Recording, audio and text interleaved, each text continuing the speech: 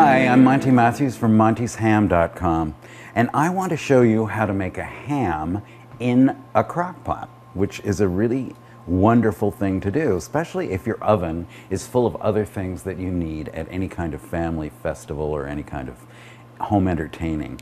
You can actually make this early in the day. It can sit in your crock pot all day, and you'll have an absolutely beautifully braised ham. What you have to do, of course, when you're using the crock pot is to introduce the liquid. You could choose any juice you'd like. This, is, this happens to be mango juice, which I think will give a wonderful tropical feeling to this dish.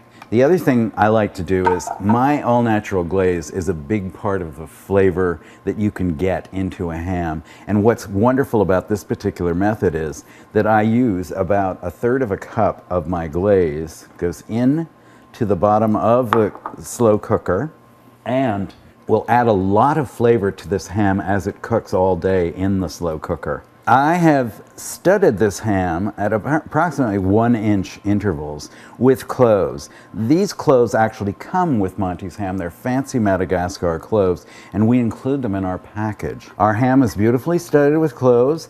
The mango juice and the sauce are in the crock pot, and you just simply take the ham, put it in the bottom of the crock pot with the outer face, in other words, the part of the ham that you can see, into the crock pot Cover the crock pot, turn it on, and in a couple of hours you're going to have the most juicy, tender, delicious ham you've ever tasted.